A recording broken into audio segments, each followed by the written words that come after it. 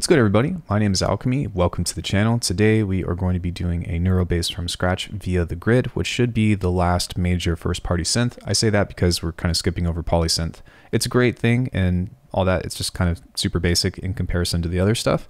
So we are going to be kind of just wrapping things up with the biggest, possibly the biggest feature that Bitwig has to offer, especially if you're into modular design. So I'm aiming to answer the question on whether or not Bitwig has the capability to make like quote unquote professional sounds out of the box. And the obvious answer is yes. But the other side of that is I want to show you a process of how you can go about that. Don't worry so much about trying to copy the sound exactly. Let's learn the mechanics of the synthesizer and then have fun making your own stuff, even if you don't think that it sounds as good, blah, blah, blah. Yeah, that's a whole different video topic. So yeah, like and subscribe. Um, you guys can always check out the sounds that I have for offer on my website if you do want access to the stuff that I make. And I don't know what I'm going to be doing, so skip to the end of the video if you just want to see what it comes out. Let's talk about the grid. The grid is a modular environment that is ever expansive and is only limited by your imagination and your CPU. The amazing thing about this is that you can essentially build theoretically just about anything within this particular work environment, except for maybe like, you know, interfaces and, and like actual like synths and stuff in that manner.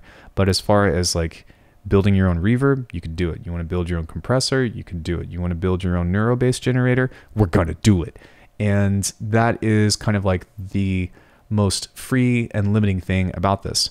I think the only next step after that would be like, I don't know, programming now, the grid is simplified. It's wonderful because everything has like a nice color pop to it. And we have a signal chain that goes from a source to some kind of envelope or modulator rather, amplitude modulator to an output. So everything goes this way. You can definitely set it to be wherever it is that you want, but I like to keep everything from left to right just so that way you guys can keep track of what's going on. So if I play a note on this, then it's just a triangle wave. And there's a lot of different ways that we can start by getting a Reese out of this. And I'm going to show you each one. Hopefully this isn't crashing. Okay, we're good. So the first way that we can get a bass out of this is to actually click on the modulator and duplicate this.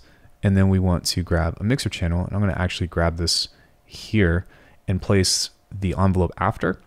And the reason why I do that is so that way I don't have to have multiple envelopes on each one. There are use cases for why you might want to do one or the other, but let's just focus on this for now. Now, if I play this, it's going to be stacked. It's going to be twice as loud. But if I detune one of them, maybe like this much, then we get our typical Reese.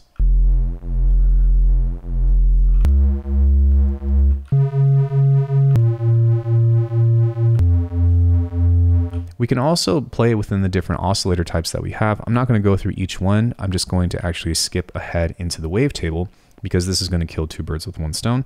But what we're going to do with this one is turn this one off and take a look at what we have with this little guy, which is our unison settings. So we can also get a detune sound by changing the unison settings here to where you can adjust the detuning and the spread. You can also change between these three different unison settings, but something that you might not have seen is over here, we have a phase distribution, which is also pretty cool. I don't know what these mean exactly. There is a description whenever you highlight over this, but just know that it sounds a little bit different. Let me change to something that has a little bit more harmonics so that way you can actually tell the difference.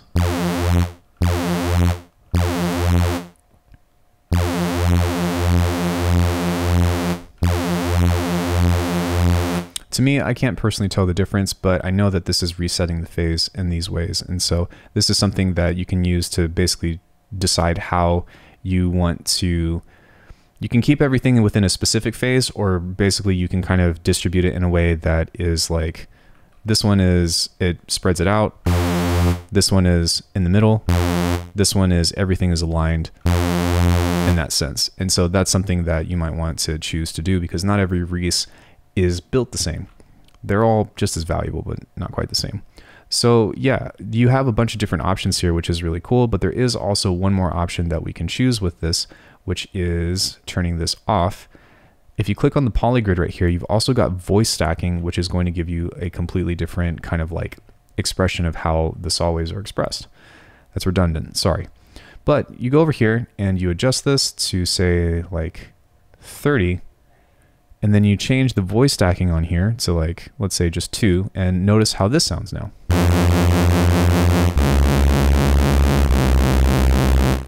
Let's adjust that a little bit more to like 0.3 maybe. So the amazing thing about this is that there's so many different ways to even just like accumulate a different kind of Reese or to accumulate different means of detuning that it's always interesting in that way, even when you're using simple waveforms. Because of these choices that you have, it influences probably the most important part, which is the source. And once you have that, then going into everything or doing your like quote unquote processing is just a matter of stacking filters and distortion types and then, you know, doing subtle nuance changes. So speaking of, what I'm going to do is actually just leave this on here and we only really need one oscillator for this. But what I am going to do is detach this and I'm going to turn this back on now, but we're going to figure out how to do FM, which is taking the output of the wavetable of any kind of oscillator and adding it to the purple guy right here. Now, whenever I click on this or whenever I play a note, it's not going to do anything. But whenever I turn the knob up, you're going to see that we're going to be introducing phase modulation. It is like FM, PM, whatever, it's not that big of a deal.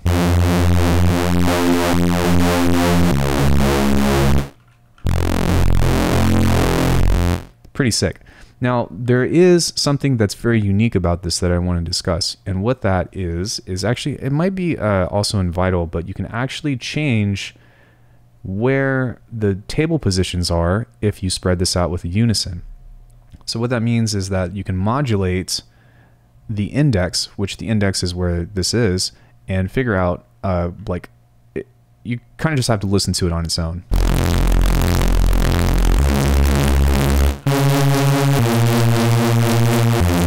Like how fat does that sound just from doing that? And so like even if you just take this and use this as your source and do outside processing, I still think that it's worth in many cases to uh, implement just the source sound. And I don't know why, but when it comes to the wavetable generator within the grid, it sounds fat as heck. Um, and I and it sounds great. Now, if you unfortunately have a lame CPU, you might want to be mindful of that. But man, this is just so thick, and it's a great place to start because that's what you want whenever it comes to making fat basses. Now, you can change the wavetable. You can absolutely use your own. Unfortunately, the grid does not have a way that you can make your own wavetable, but you know, just download Vital, or if you have Phase Plant, you can make stuff in that. But when it comes to this, like once we have our main sound, then we're pretty much just going to go through our normal process, which is distort, filter, distort, filter, blah, blah, blah. Now, one thing that I will say with this though, is that you can actually do some signal splitting here in order to create some different variations or even do frequency splitting if you want. So let's try that. So I'm going to grab a high pass here and I'm going to connect this to the output here by making sure that this is highlighted and then let me pull this out so that way we can try to not be as confusing as possible. The index has to go to the envelope and you can figure out where these things go just by most of the time matching the color coordination. This in particular is one unique use case of the FM of course, but you know, that's not that big of a deal. So this is currently going to the high pass right now and I'm just going to right click this, sorry, triple click this, one, two, three, and I'm going to set a value of, let's do a cutoff at 140. So that means that everything above 140 is going to be cut off here. But now what we can do is we can actually click on this and duplicate it. And now we've split the signal and I can right click this and change this into a low pass. And now this is at 140 as well. You can see here that this is blocked, so nothing is going outside of that. So we're just gonna add that here. And now we've got a very simple band split of everything that's above 140, everything that's below 140. You can go a step further and go into a band pass if you want. And what you might even want to do is right click this. Actually, let's just go ahead and add another one. So we're going to option this like so, and then right click, and then we can go into something like uh, XP because I know that there's a bandpass on this. So we can go bandpass 4, and then you can set this to be your mid signal, and then pull this up to be your high signal. But I don't really think that's all that important right now. So with two signals, this is our sub, this is just going to go directly outward. And that's all we really need that for. But all of this stuff, everything above 140, we can start to implement different kinds of filters and stuff that will go in serial. So the first thing that I'm going to do is type in shaper here. And we are going to find something that sounds nice. So I'm actually going to solo this and we can just focus on everything that's in the high end and let's just drag in the first one and see what that sounds like.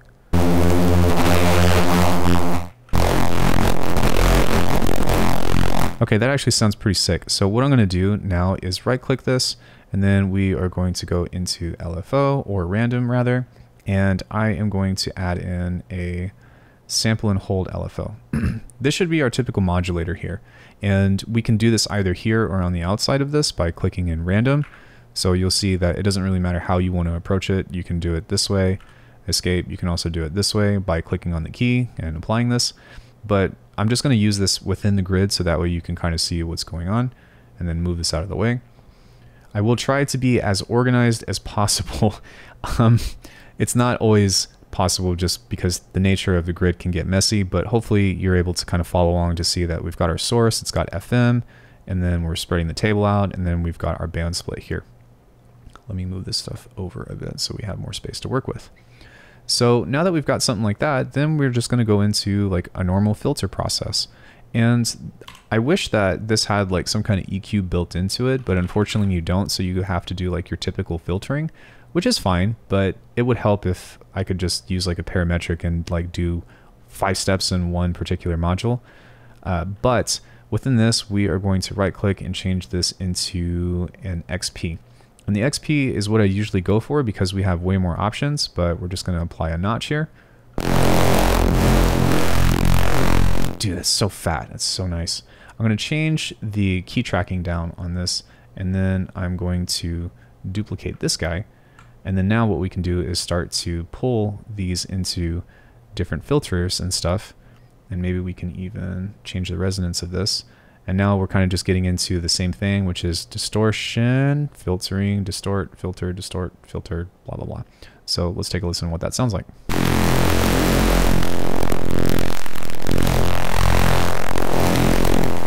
You can also add drive on this if you want. Uh, I'm going to leave it as is, but just know that that's an option. But now what we can do is we can duplicate this again and connect these two. And then you have to make sure that you connect that out. I think there's a more efficient way to do that, but it's fine. But what we can do is pretty much use the same filter, but change the direction of which this is going. Or what we can also do is double click off of these and flip them so that way, this one, the first one is going to move the filter, and the second one is going to adjust the resonance. I'm going to actually move that in opposition, so that way it'll be a little bit more up. And what I'm going to try to do is give these just a little bit of crossover, but not so much, so that way they kind of interact with each other and create a relationship.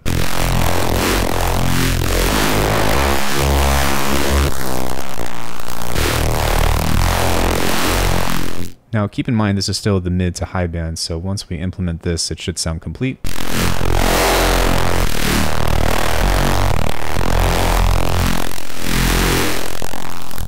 Pretty sweet. So now from here, we can pretty much do this as many times as we want. So we can grab a saturator, but the cool thing about this is that the expression or like the chain really opens up because we can do this kind of like frequency splitting or signal splitting as much as we want to.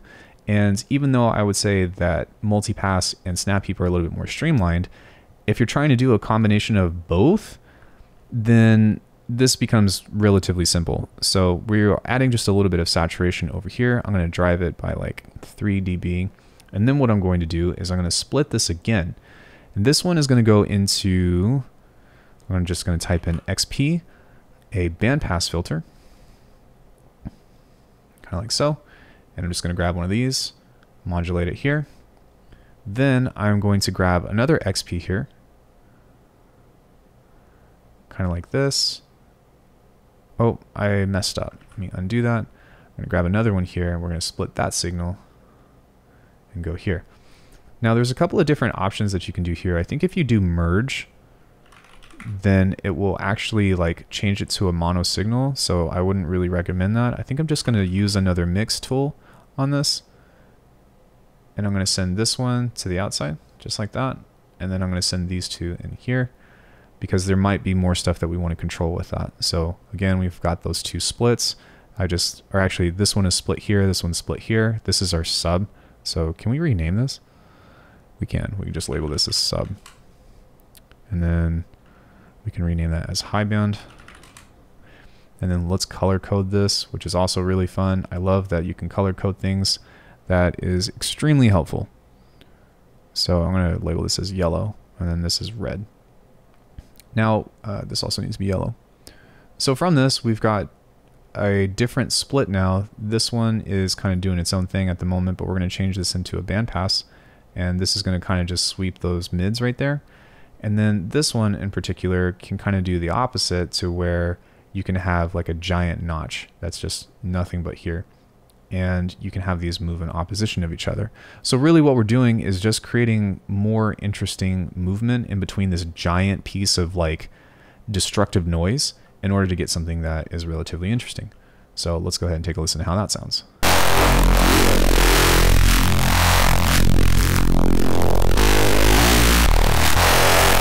Sweet. Okay. Now, because this is relatively noisy and stuff, one thing that we're going to do is back off of the saturation just a bit. I'm also going to lower this. Or maybe, yeah, maybe lower this. That kind of tame the sound. And then finally, I'm going to add in one more filter over here, which will be just a, uh, another low pass or something. Now keep in mind, there are so many different modules in here and it would definitely be a shame not to show you all of them, but unfortunately I don't really have the time or the energy to go through everything in order to build the ultimate crazy bass. But I do kind of want to show you a concept about how you can go about creating something very simple. And you can even send the entire chain through the entire signal if you wanted to, but this is just a way that you can start to build these kinds of sounds in a very easy manner. So now that we have that, we can automate this. So maybe let's go ahead and do a completely independent modulator here and just kind of let that roll. And that's going to go all the way down, let's say maybe into something like that. So now this is going to kind of rotate in and out and create like cool morphing sounds.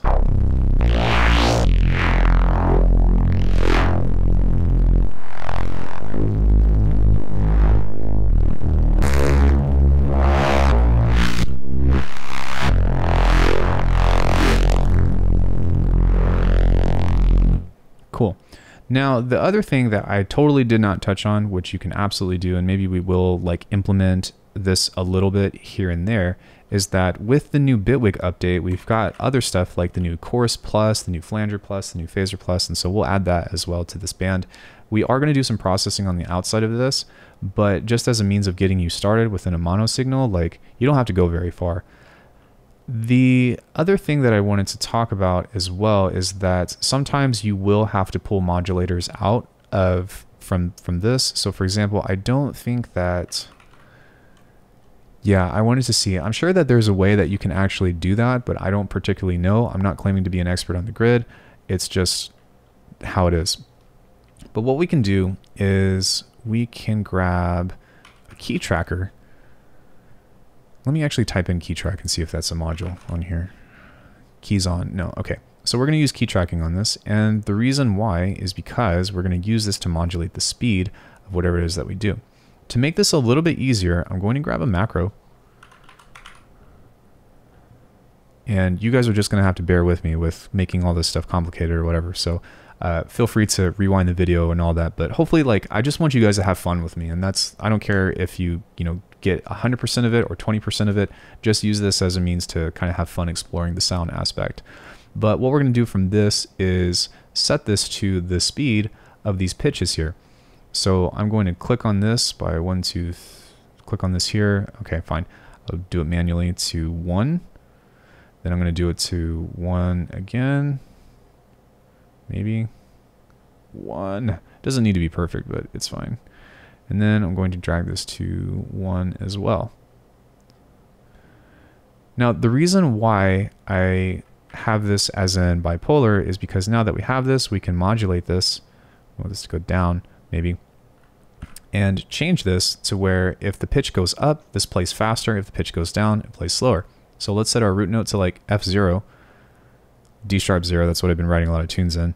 And now whenever we play this, it's going to change the speed based off the pitch to match the detuning, at least get close to matching the detuning of that.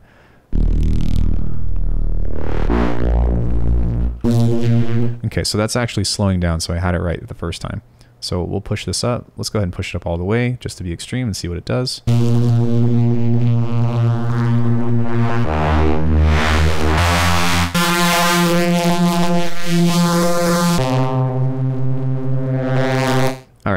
So one thing that's important to realize with this is that if you double this and, and it's in time mode, then it's actually going to slow it down. So I had it right the other way. Now let's go ahead and play this higher. There we go. So that now it's too far. And this is just some of those quirks that you'll have to like kind of get past, but it's weird because if you actually set this to hertz, then if you push it up, it's going to go faster. Whereas if you have it set to an actual bar, if you double it, then that means that it's going to be twice as long or take twice as long to complete like the LFO curve or whatever. So uh, just keep that in mind.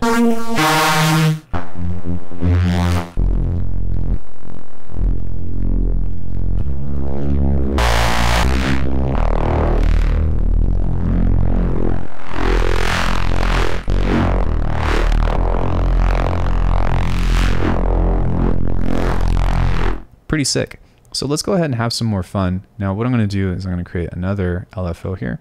And you can do as many of these as you want, or you can keep them all the same because the goal is to have some kind of relationship between the two. But what I'm going to do with this one is change the index. And I'm going to set this to bipolar. So now this is going to sweep in this way between a bunch of different things. But I'm going to make this a lot slower. So I'm going to just set this to half bar. So now we have this wavetable that this is FMing to this and in conjunction with all of these filters, we're getting more, well, cool stuff.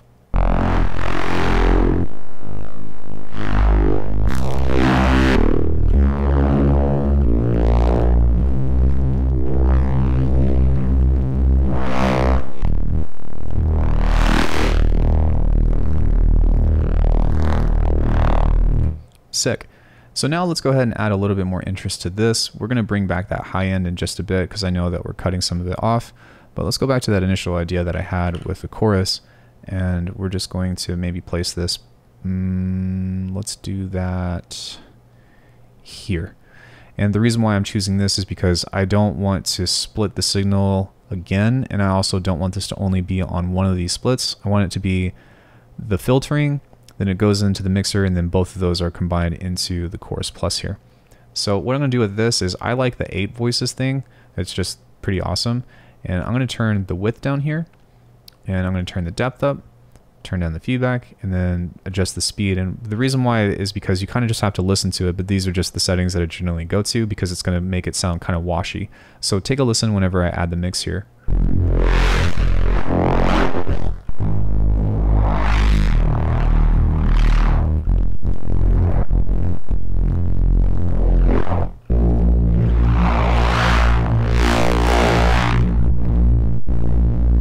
Let's adjust the feedback a bit, and then let's adjust the depth.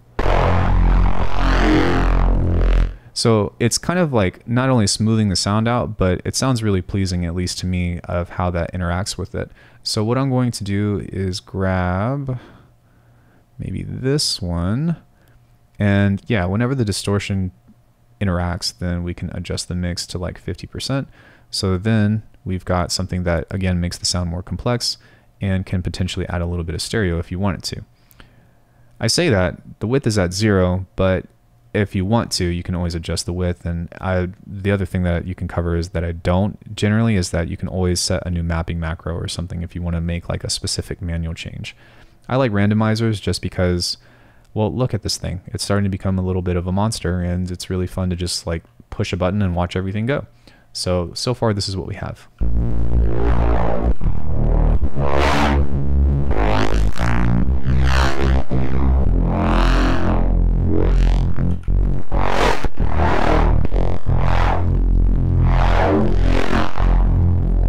So we're already getting something that is somewhat morphing and we can kind of take this further if we want by adjusting with the phaser or a flanger or whatever. But for me, like these tools that I'm using are relatively basic. And even though I did say that we're creating a monster or something, like I don't really use a lot of like crazy different stuff in order to get something interesting. It's more about just understanding the theory about building harmonics and then finding interesting ways to cut them. And that's what you use to create kind of like vocal stuff. And then you play a low register and boom, there's your Neurobass. Uh, Neurobass 101. Subscribe to the channel. So Because we have that though, we always can mess with other things. We can adjust the phaser. I'm going to make this purple because that is how I see a phaser now. It's like forever embedded that a phaser is supposed to be purple. I don't know, leave me alone. But now that we have something like that, we can add just a little bit of stereo by turning this on. And we can also flip the phase by clicking on that guy there. And this is cool because this gives you like way more options. And the Phaser Plus is something that I've already covered in another video, but you have so many things that you can change about this. Like for one, there's four different modes naturally. Then you can change between stereo and not stereo. You can flip the phase, but then looking over here on the left, you've also got four different options that you can choose as well. So you've got phaser, speaking, and then barber uh, positive, and then barber negative. And just in, instead of thinking about what that does exactly, just play with them and find the one that you like. That's the best way I can explain that. And then add some randomization to it to make it fun. So I'm just going to play with the mix a little bit. And then I'm also going to play with the depth because the depth is what's going to kind of help me create that vowel type shape. There will be a point, possibly, where you won't be able to tell the difference. So sometimes by making things really extreme or turning other stuff off, you can start to hear how it changes, but that's just a way you can kind of keep track.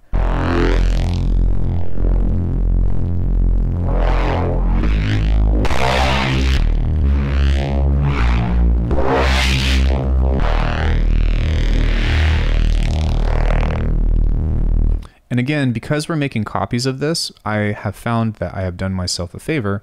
And within all these modulators here, even if I duplicate it, it still mapped the speed to the rate here. So I can always adjust it or turn it down or whatever. So if it's too slow at this pace, you can change it. And now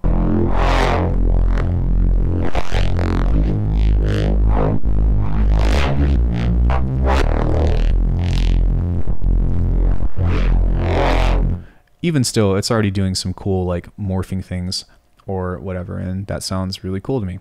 So now let's go ahead and hop into the next piece of this to where we are going to split this into a low high via an FX2. And unfortunately for me, I still feel like I have to do some stuff on the outside of this. So this is kind of where you get into like your more conventional means of processing, but you can spend as much time on this as you want especially when building things, I typically don't need to. Like the filtering and then the chorus and phaser are pretty much all you need to create some cool stuff. And now we're just going to use the outside effects to streamline this process. Now for me, I have a typical low-high split of, we're just gonna do 140 again-ish, and make sure that your low end is in mono. And then everything on the high band is kind of free game. So the first thing I'm going to do, because I want to create a flanging sound, is not use a flanger. if you change this here, you turn the width down and then you adjust the speed though, this will actually make a tearing sound.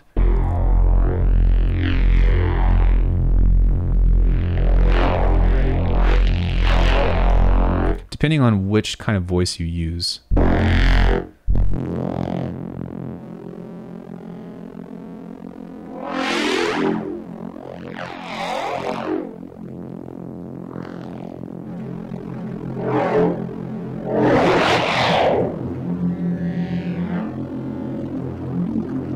So you can see that by adjusting these here that you can get a lot of different effects. One thing to also give a shot for is using the original chorus. So don't think that this is obsolete just because we've got an update.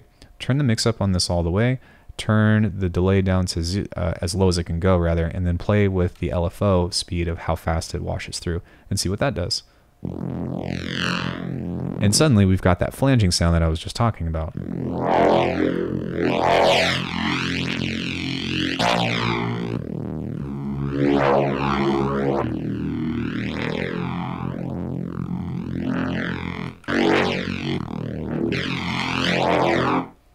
Cool. So we are losing a little bit from that. So I am just going to add a little bit more saturation here. And that's why I'm kind of dictating this decision. And that's, I wanted to show you this process to show you how I navigate and why I make choices in the places that I do. And in this particular instance, I've noticed that with the chorus standing on its own, we got a cool effect, but we also lost some stuff. So within this, I'm going to use the saturation to try to bring some of it back. And that's how we'll navigate into figuring out, you know, what the next piece of this will be to keep it cool.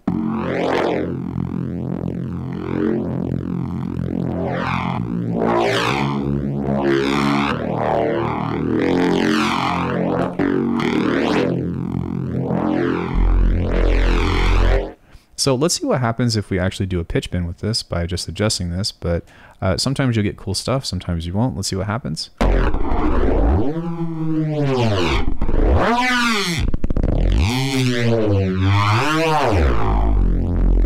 It's getting there, but it still needs a little bit more crunch. So let's go ahead and boost the high end a bit, uh, or sorry, the loud sound a bit. And then if we wanted to go into more filtering, which I'm not going to do, I kind of just want to show you that at any point in this stage, you can go into a parametric EQ and set some points here to go into more complex filtering um, and do like boosts and gains and stuff.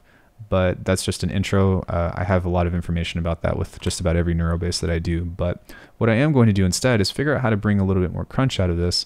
And I'm going to start by adding an amp. Now the amp is really cool because it is weird. I think that's the best way to explain it. To me, it sounds nothing like an actual like amp slash cabinet, but it does have its own character that you can create more movement and more cool and interesting things from. So one trick that I'm going to show you is I am going to add another randomizer on this. And we are going to grab the frequency here. Sorry, I had to remember what I was wanting to do. Again, I'm doing this on the fly, so forgive me. But what we can do with this is we can drag the middle signal down like this, and you'll see that this will actually bounce in between. So we can create this opposition of these, say here, and create this addition of this to where we're boosting the low and mid of the signal. And now we just need to push them up a little bit more to where they are crossing over with each other, which is kind of fun. I'm going to set this to smooth. I'm going to set this to free. And then I'm going to map the rate here to this one as well. So I think I'm going to map it just upwards again.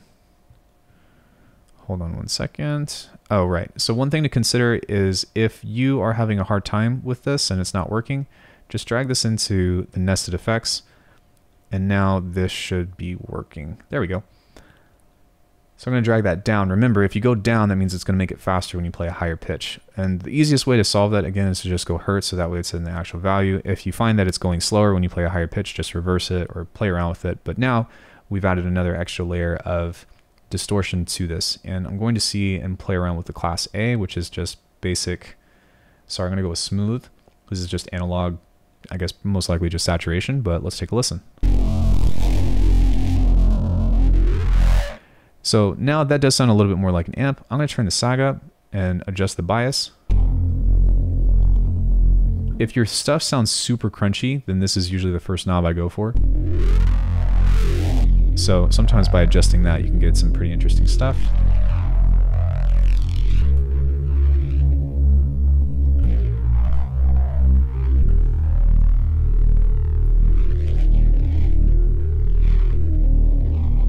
Then I'm going to adjust the mix a bit. Because we're losing some mids here. You can adjust a cabinet if you want. You can flip the phase of it and then adjust the cabinet size and see if you want to do something interesting like that. I typically do not because, well... Okay, whatever. That sounds pretty cool. That's why it's important to experiment and discuss, and that's the beauty of doing this stuff from scratch is not really knowing what you're going to get. So the last two things that I'm going to do is the first one, I am going to add a reverb to this. I'm going to use the stock reverb here, but I'm just going to pull up a preset just because there's one that I like. Room one, I think, let's go with Space Hall. And the reason why is because I could talk about how this reverb works and stuff, but basically you just want to mess around with it until you find something that's cool. But I'm going to keep the mix here. Um, no, I'm going to keep the mix at zero. Sorry about that. And then I'm going to add another randomizer here. And one thing with this is that I'm adding randomizers to each individual effect, but you can always just add one here and then apply it to all the other different things. There really is no right or wrong, but this is a bit this is actually like a benefit or a feature that other synthesizers or workflows don't always like have the availability for. So it's important that you understand like you can do one or the other or both. Um, this makes it very easy to do so. I'm going to adjust the mix here in this way. So now this is going to come in and out at certain pieces of time. And then again, I'm going to map the rate here to adjust in this way. So that way, again, whatever note I'm playing, this is all going to match in the same speed together. So that way we're reinforcing that relationship between the effects, even though they all have independent modulators. And the last thing that I think I'm going to do is we are going to add in a filter here and just use a low pass and pretty much do the same thing. I'm just going to turn this on because this is my thing by default. Set that to free and then turn this up. Now this is actually set to hertz, so I'm going to boost this one and make that faster whenever we play at a higher pitch. And again, the reason why is because that way um, it'll speed up whenever you play a higher pitch in that manner. So we can pull down the resonance on this and I want this to go up as high as it can go so that way it opens up and we're added just a little bit of post drive, which is just kind of like some distortion. It's gain, but you're kind of doing the same thing, especially when you push it into a limiter. So let's see how this sounds and see if it's any cool.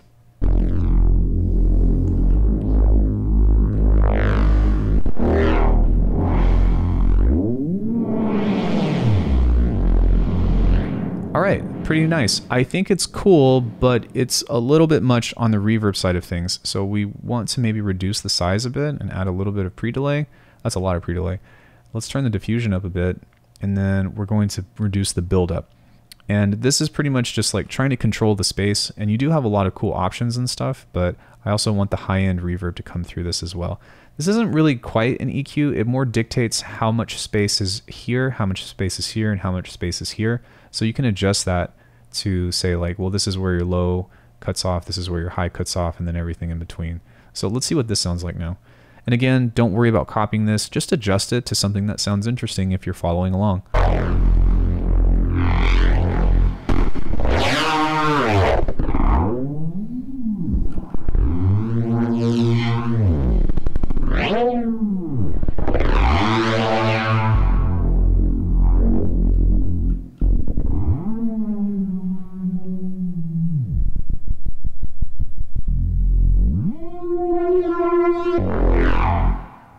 All right, I might have slowed this down, so I think I did. So again, we kind of made that mistake. So let's push that up because I want that to go faster.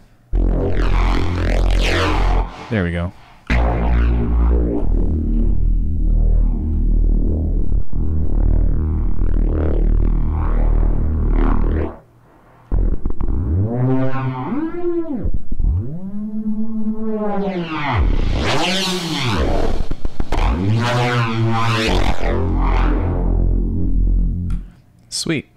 So you can see that like the key to this and the nuance behind this or like the taste factor of this is to adjust these filters in such a way to where it creates the kind of vowels that you're happy with when it comes to the excuse me the random interactions. And unfortunately like I can't really teach you that because you're going to have to listen to it and find whatever it is that you like. But by showing you how all of these effects and components work together, you can kind of adjust them and open and change certain positions of the filter to try to tweak it to your own liking. Now, the final stage of this would be to maybe add in some dynamics and a limiter. And what the dynamics is going to do is just boost up the high end. So we're going to lower the ratio up here on the high threshold and then maybe reduce the high threshold just a bit. You want to be really careful with this because this is a like really fast way to like make your stuff too sharp and stingy. Oh, sorry, we don't want to use that. We're going to use a regular limiter instead. And what we're going to do to help kind of try to control this is we're going to grab this peak limiter here and set the ceiling to minus two, at least minus two, maybe minus four at first. So we can kind of just test that there and see what that does. But when you lower the threshold like that, you're actually going to boost the signal whenever it gets louder than what's coming in. And so this is a great way to kind of like pseudo create a one-stop shop OTT. You can do like three different bands or whatever. I don't think that's necessary. Just boost the high end just a little bit in this way and then you can kind of figure out the rest from there.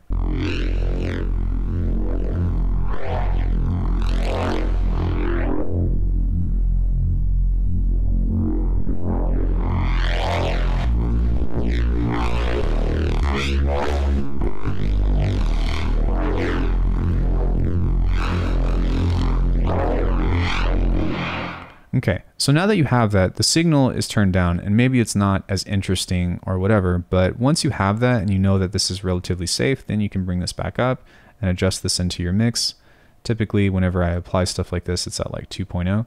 And now that you have this diverse complex patch, you can always come into this stuff and add changes or turn things off if you don't want to. So you can always do something like this.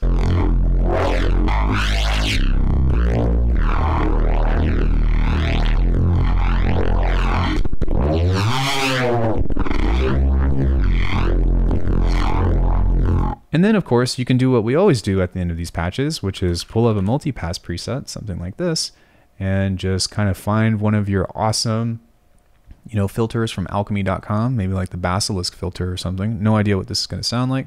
Turn the random depth up, turn this up, and then see what happens.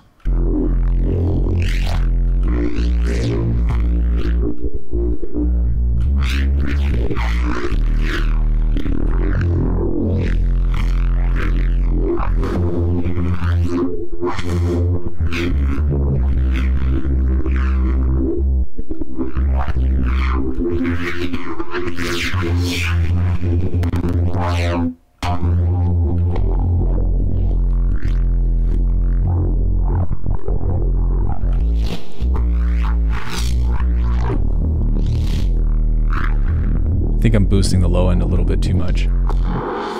So yeah, you can kind of just go through all of these or whatever and have some fun. And like, this is kind of just like how to get you started. And then you can always go and add in your third party effects and whatnot after. But that's pretty much it. This is how I do just about every bass anyways. And this gives you a lot of flexibility and control. And I want to make a very clear point that this is just one way to do this within the grid using very limited effects. So please keep that in mind. However, in order to have a lot of places to explore, whether it be through the modular outlook or through the actual device kind of chains and stuff like that, uh, please just have fun exploring and don't worry about it sounding exact. I wouldn't even say that this is one of my best basses, but it's still really fun to make. And you can always go in and make changes and stuff and use this as like a tool to kind of have a starting point and then explore to like put different modules on, put different effects on and see how it changes the sound don't go for the right choice, go for the wrong choice because that's how you're going to learn stuff. So thank you guys for joining me with this. I had a great time putting this together. I don't think that I want to spend any more of your time other than invite you to check out my website where I offer tons of presets and Phase Plant, Bitwig. Uh, there's a free Vital Pack that I recently put out. Or if you want to know more information about all this stuff, book a lesson with me, consider joining for the memberships. There's lots of stuff that I have that uh, are useful resources to you. But yeah, let me know in the comments what you guys think, and much love to you all. I will see you all in a different video. Bye.